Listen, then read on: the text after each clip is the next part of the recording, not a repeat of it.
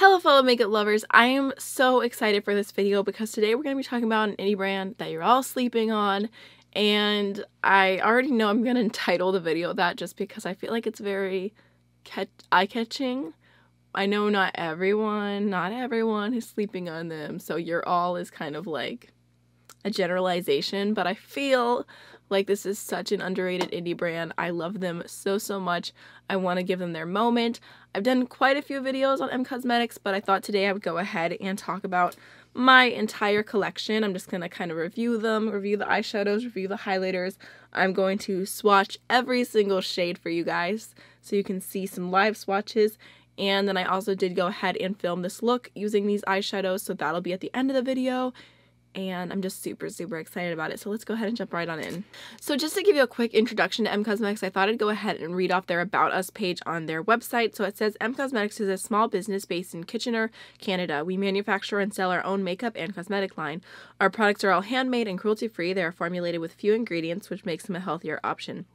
Our objective is to offer great quality products that are made individually with love and care. They have their own charm being handmade, especially for our lovely clients. We love very much what we do and we are always motivated to expand our product line with new, fun, and cre very creative items. They also do ship worldwide, so they have a variety of products. And the thing about Emme Cosmetics is because they are such a small brand, they normally don't have everything in stock at one time. So I don't, right now, I just looked on their website and they don't even have any highlighters in stock. So I'm not sure about that. And then if you go to their eyeshadows, a ton of them are sold out. And it's kind of one of those things where you have to wait and um, just wait it out until perhaps the eyeshadows or the certain ones that you want are all available at the same time. I feel bad complaining about that because they are a small brand. I'm sure they're doing the absolute most that they can to keep products in stock, but it can be a little bit discouraging whenever you want to make an order and you want to get all the things you want at once and you can't, so that is something to keep in mind. Their eyeshadows all retail for 8 Canadian dollars each, which is about $5.81 in US dollars. I can't remember how much the highlighters retail for because, again, the highlighters are not currently on the website, but I want to say maybe they were like 10 or 12 Canadian dollars. Nothing crazy by any means. They do have some coupon codes. I think you can use the code first order for 5% off. I have a referral link, which is just the same referral link as any other customer has. I have not received PR. I don't have any affiliate, anything with Emme Cosmetics. I just really love them. The only thing is they have sent I think maybe one order I had, they sent like four or five extra shadows, but I've purchased everything else myself. Um, but again, I have the referral link, which has nothing to do with being on YouTube. And every time someone uses it, they get 7% off. So that's a way to save. I literally have so many $5 off coupons from that referral link. It's almost comical because you can only apply one per order. So I have like $5 off for life, basically, is what it feels like at this point. But those are ways to save some extra money. And I believe the Canadian shipping, I think it's like 15 Canadian dollars, which is like roughly, I'm, I'm to say like 12 US dollars or something. So not too bad, but something to keep in mind. All right, so now let's jump into the products, which I'm obsessed with, as you already know. So they have a good variety of matte and shimmer shades. I want to say that I own every single matte shade that they offer in their line. I'm pretty sure that I do. I don't I don't own every single shimmer. I don't have the neutral shimmer options, which maybe I'll get some eventually, but I do have I'm pretty sure all of the mattes to show you. And then I have the two highlighters, which one is more neutral and one is more colorful. So I'm just going to break it up by talking about the matte shades, then the metallic shades, and then the highlighters. So starting off with the mattes, they are my absolute favorite. Like, I can't express it enough. I'm pretty sure, and I'm to be honest, it's really, really hard for me to say anything is like my number one my favorite formula. I get those questions all the time with indie brands. Like, what's your top brand? What's your top formula? And it is so hard to decide because for one, there's so many that I love. There's so many that have different color options and I'm just super indecisive. But I, I'm to do it. I'm to say it. Emme Cosmetics is my favorite matte formula from an indie brand.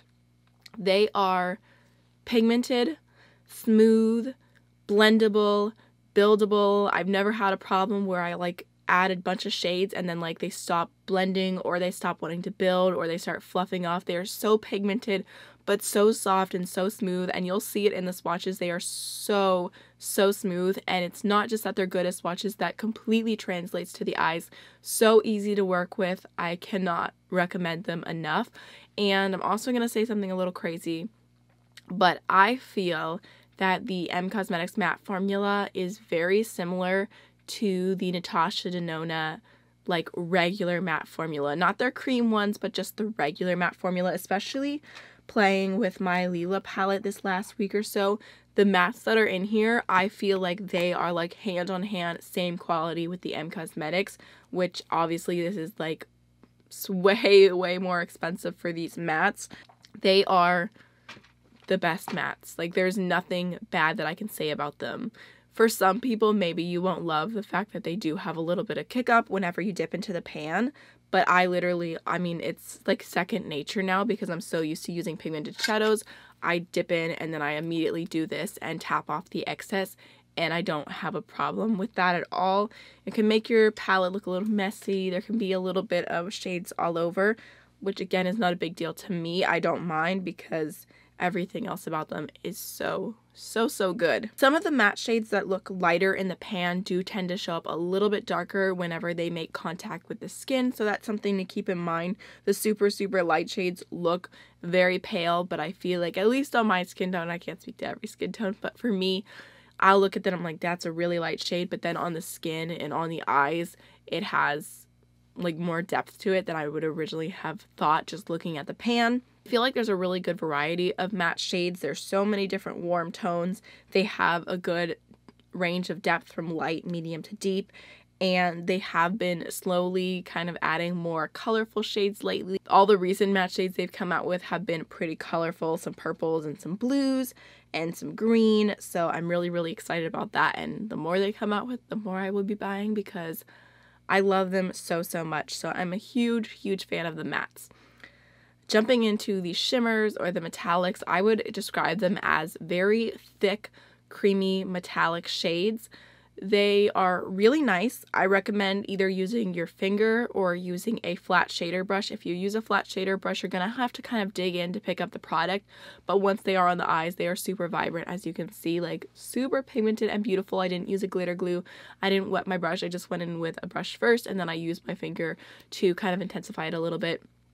I do get fallout with these shimmers, which is not that big of a deal. It's just something to keep in mind. You either want to powder a little extra more uh, before you do your eyes, or you want to do your eyes before you do your face.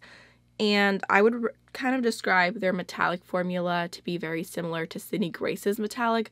It's just thicker, very creamy, and just a little bit stiffer of a formula, which I think is why using your finger works so well for it. But they are very pigmented, very vibrant. They catch the light really beautifully. They do have a good variety of duochromes. They have a bunch of different shades. You can tell that they love like bluey green metallic shades because they've got a lot of those. And I really love the variety of colorful shimmer options they sell because they are really, really pretty. Um, I wouldn't say their metallics are my all-time favorite formula because I tend to go for shades that are a little bit more sparkly, whereas these are just like straight up metallic, just like that shine. So it depends on personal preference on how much you'll love these, but either way, I think that they're really, really great shadows. They're pigmented, they're relatively easy to use. I have used them without primer before whenever I've done like really quick, easy looks. And that's being for the mattes and the shimmers. When I use them without primer, I still have no problem blending the mattes or like any wear time problems with those. But the shimmers do crease on me if I don't wear an eye primer. So that's something to keep in mind. If you have super oily lids, I'm not sure if this will be your favorite formula because they are very, very creamy. So yes, I like the metallics. I think they're a great formula. And then jumping into the highlighters, I also really appreciate their highlighter formula. I think it's super nice. It's very, very smooth on the skin, very skin-like. You can see I've got peach Silk on right now and I think it just really blends well into the skin. It gives that kind of glow from within. And you can definitely use it with like a stiffer brush and like really build it up and get like that intense glow or you can use more of a like fluffy brush and get a little bit more of that soft diffused look. But either way I just don't think it emphasizes texture. It doesn't look cakey on the skin. It just gives a really really beautiful glow. I also love the shade peach silk. Which we'll talk about in a second but I just feel like it is the most perfect peach shade for fair skin tones because I feel like I've tried so many peach highlighters and they always are a little bit too dark for me but this is just a very very light peachy tone. And then the other shade is a little bit more crazy. It's a very like greenish, bluish greenish duochrome and you can use it as an eyeshadow, which is what I did today. But as a highlighter, it also has that same really beautiful skin-like quality. Not as skin-like because my skin doesn't actually glow green, unfortunately, but it does not emphasize texture or look cakey either. So that's my review of the quality of the products. I think that they are phenomenal and like I just I can't stress it enough. Like I want them to like blow up and for people to be like, "Oh my gosh, talking about Emme Cosmetics because their quality is so so good and they really deserve more hype." So now let's go ahead and jump on into the swatches. Okay, so the first shade I have here is on the nude and it is just a very light neutral transition tone. Okay, next is the shade My Angel, and this is more of a satin. It's a very light baby pink. It kind of has a little bit of like a bright iridescence to it. It looks stunning on the inner corner. This one actually, I feel like I should mention this one uh, is the only metallic formula I feel like is different than the rest. This is just a very soft satin and all of the other shades are metallic. So there is my angel. All right, next is the shade Cotton Candy, and this is a very vibrant light pink shade. You can see how pretty it catches the light. I just absolutely love this one. I think it's beautiful all over the lid. It's beautiful on the inner corner. It's a really nice shade if you love pink. All right, so next is the shade Baby Doll, and this is another really beautiful light pink, but this one actually has a blue shift to it.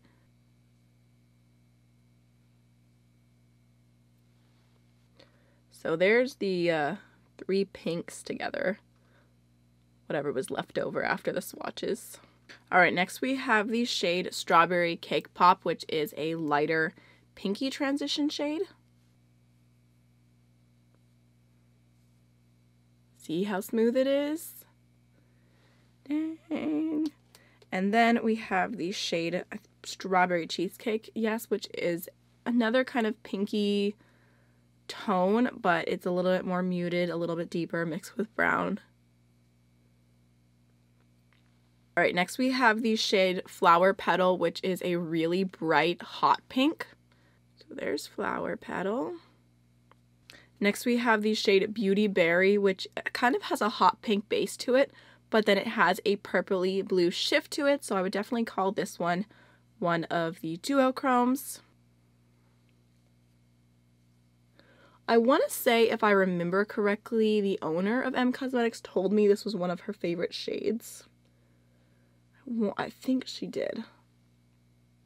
And then next we have the shade Pink Lemonade, which is a newer shade to me, but it's a really beautiful, vibrant kind of pinky rose gold type of shade, but more on the pink side. So there is Pink Lemonade.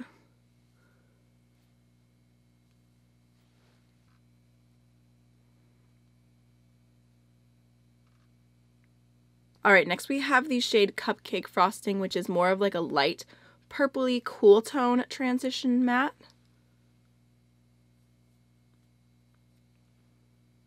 And then we have the shade Elysian, which is a really beautiful lavender matte.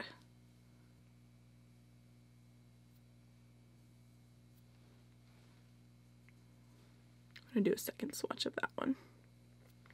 Next we have the shade Lilly, which this is the one that made me want to buy every single matte they own I originally bought this and one green matte and I just love them so much. It's such a beautiful kind of pinky purpley matte tune, tune tone and it has I mean I don't know if you can tell it has a really good dip going in there. I really really love this shade. It's super vibrant, smooth, just stunning. All right, next we have the shade Urban Fairy, and this is a light purple with a little bit of a gold reflect to it.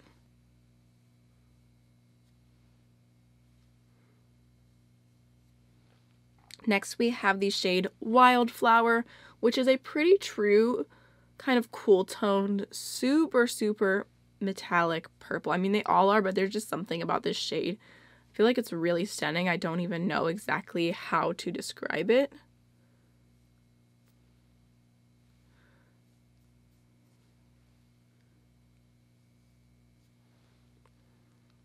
And then we have the shade Blueberry Ice, which is kind of like a muted purple. It's a little bit deeper.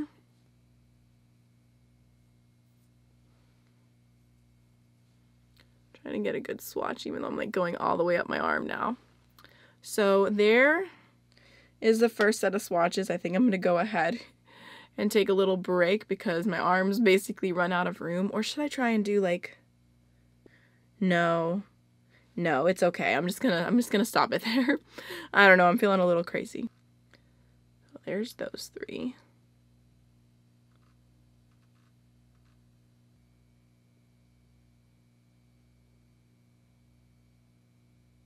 Alright, next we have the shade Milk and Two Drops of Coffee, which is pretty much a light gray.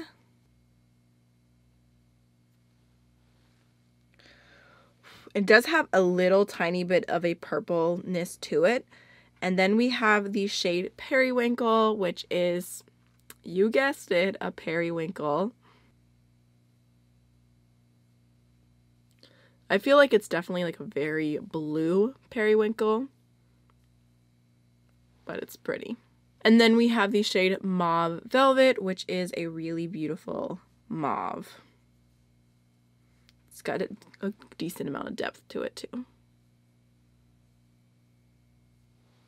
Now we're kind of getting into a little bit more of my neutral warm brow here. And this first shade is called Maracuja Mousse. It's a very light yellow toned transition shade. I feel like of all the matte shades I own, that one is the least soft, which I don't know why that would be. But next we have the shade Tangerine, which is a really beautiful orangey peachy tone. Reminds me of all the shades that used to be super hyped up on YouTube back in the day. Just that really nice peachy transition. The peachy transition people thought they could not do a look without. And then we have the shade Peach Macaroon, which this is a peach as well, but it's definitely more of a pinky peach. And I actually used this one as blush today, which is really um, a beautiful color for blush in my opinion. You just have to be a little bit more careful with it because it's pretty pigmented. I feel like my swatches are looking not as good and that's because I'm rushing them a little bit because I've got so many to do. But there is Peach Macaroon.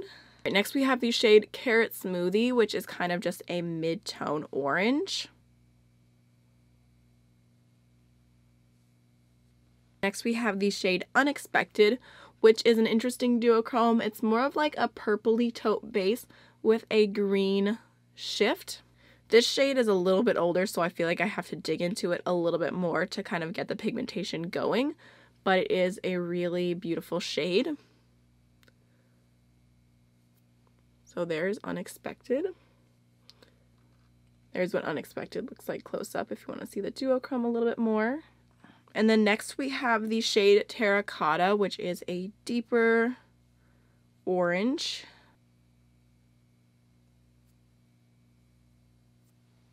Next is the shade Cocoa Truffle, and this is probably one of my favorite mattes just because I love the tone of this one. I just think it's such a pretty, like, uh, uh what's it called?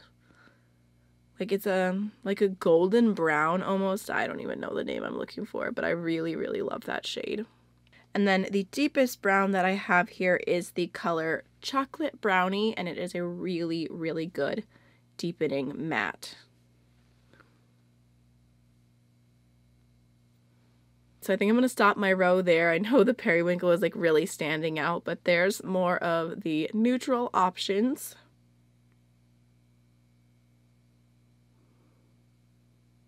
All right, now for the part I'm most excited about, we're going to jump into all of the blues and greens. There's some really pretty options here.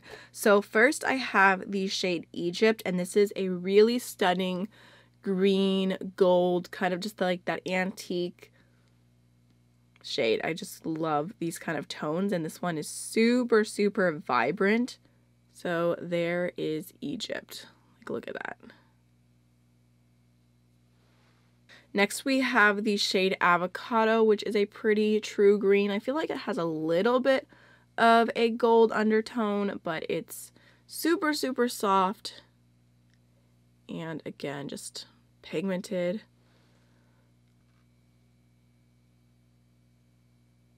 And then next we have the shade Olivia, which is a lighter matte green. All right, next we have the shade Evergreen, which is another pretty true green metallic. This one has a good amount of depth to it as well. I feel like it's a little bit darker than Avocado. Not quite as golden. Next we have the shade Palm Tree, which this is one of the original shades I bought from them and I love it so much. It is such a nice, just bright green. Super, super soft formula. And then next we have the shade Hawaii, which is a light kind of blue with a little bit of a green aspect to it.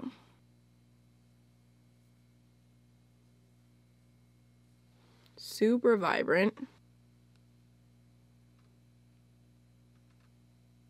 All right, next we have the shade Venice, which is a really, really beautiful green. It just has such a brightness to it. Just reminds me of like spring and I don't know. It's just stunning. Look at that. It's like a teal. And we have the shade Amaranthine. I don't even, I feel like I'm pronouncing that all wrong, but it is a pretty true blue. It has a little tiny bit of a green undertone to it. It's a deeper metallic, but it is really stunning. And then we have the shade Blue Moon, which is more of like a purpley blue as opposed to these like bluey greeny blues that we've been seeing. But I really love this one as well. I feel like it's really soft, really pigmented, and it's just, I don't know, it's kind of an interesting shade.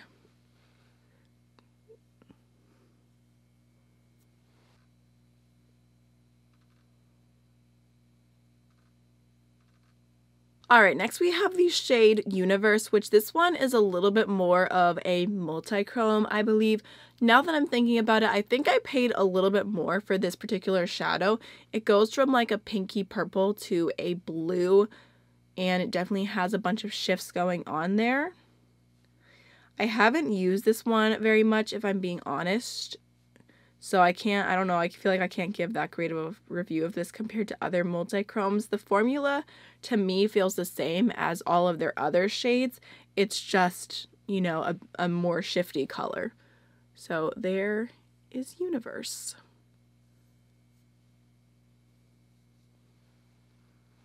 There's what it looks like up close. You can see the shifts a lot more there. All right, next we have a really beautiful deep navy, and this is the shade Marine. And then last but not least, we have the shade Concrete Jungle, which is a really deep gray. It almost looks black because of how deep it is, but it is not. It's gray. But again, it's just that same really great smooth formula. So those are all of the eyeshadows swatched. I feel like this little section here just is my favorite probably. I mean, no, I really like the pinky and the purples, but I just think like this all together looks so, so stunning. I feel like they have so many beautiful options here. I feel like Universe stands out a little bit here because the blue shift isn't pulling quite as much on camera as it is in person, but I love these.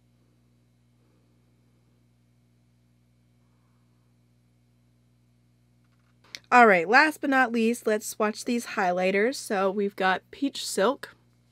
So there is what Peach Silk looks like.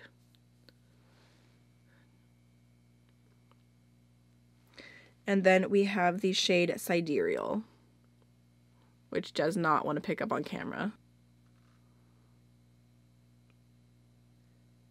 The shift is too bright. It like blinds the camera. It like doesn't pick it up. And there is Sidereal.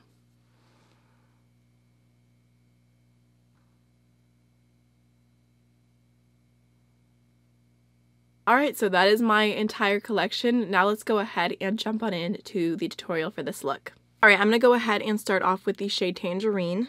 I already primed my eyes with the Anastasia eye primer. I'm just going to go ahead and pop that shade in my crease with a big fluffy brush.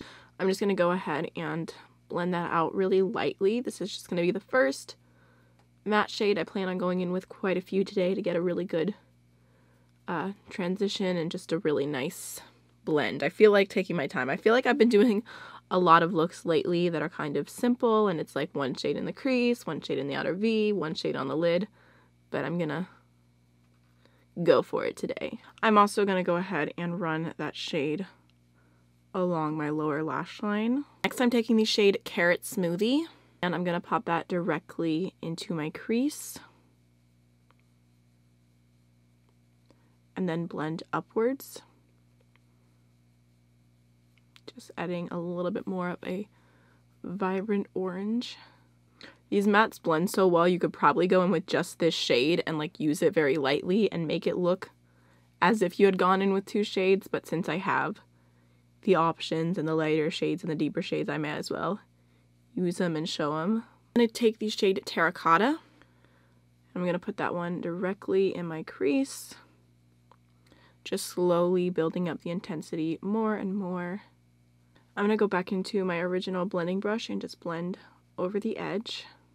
Alright, now I'm going to take the shade Cocoa Truffle and I'm going to put that into my outer V start deepening it up. And then whatever's left over on the brush, I'll kind of bring into the crease a little bit. go ahead and go back in with the previous brush again. Just blend over that edge. I really love the tone of Cocoa Truffle, so I'm going to take that shade along my entire lower lash line pretty much. Smudge it out a little bit. I'm going to go back into that bigger pencil brush that I used before on the lower lash line and just blend. I think I might even go back into a little bit more of that shade can't remember the name. What was it? Tangerine. Just use that to really blend this out. All right, last but not least for mattes, I know I'm going a little bit crazy, but this is the last one. I'm going to go ahead and take the shade Chocolate Brownie, and I'm to pop that right on the very most outer part of my outer V, just to add a tiny, tiny bit more depth. It's a really, really nice deep brown. Once I pretty much have that placed where I want it to be, I'm to go back into my smaller blending brush and again just going over the edge. And then I'm going to take just a tiny little touch of that brown on the outer third of the lower lash line just to connect it. Alright, so now finally jumping into some shimmers. I'm going to start with this shade, which is called Amaranth Amaranthine which is a really beautiful kind of mid-tone bluey green. So I'm going to apply that shade to the outer half of my lid just using a flat brush. I didn't wet it, didn't use any glitter glue, anything like that. Oh man, I forgot. I kind of wanted to do a cut crease, like an actual cut crease, but now... Okay, well, never mind. that was my plan. I'm just so used to doing it like this that I completely forgot. All right, now I'm to go into the shade Hawaii, which is a really vibrant lighter blue-green shimmer. And I'm to pop that on the front half of the lid. I'm going to go into the brush I used with the deepest brown and start off by just blending the outer V. I think I'm going to go ahead and take a little bit of Hawaii on my finger. Actually, just to help see that add some extra intensity. I've got one last shade to go in with this and I'm actually going to use a highlighter now and this is the shade Sidereal which looks like this. It's like a white with like a really green reflect to it. So I'm going to go ahead and pop that shade on my inner corner. Actually, you know what? I think I'm going to wet that highlight on my pencil brush just to see if I can make it a little bit more intense. I mean, it looks fine now. It's pretty, but I'm just curious. I'm actually going to go back into a little bit more of Cocoa Truffle on the lower lash line just because I don't want to lose that. Alrighty, so now really quickly I'm just going to throw on some liner, some mascara, and I'll be right back. For blush today, I'm actually going to go ahead and take one of my shadows, and this is the shade Peach Macaroon. Definitely going to be careful with it. I don't want to, like, have clown cheeks. So I'm just going to pick up a little, put a little on the back of my hand, and then use the excess and have, like, a really nice peachy blush moment. Alright, for highlighter today, I'm going to go into the shade Peach Silk. Just going to pop that at the tops of my cheekbones such a pretty highlighter. Last but not least for lips, I'm going to go into my ColourPop Lux Gloss in the shade Overnight, which is a little bit more of a peach, so I thought it would kind of match the vibes of this look.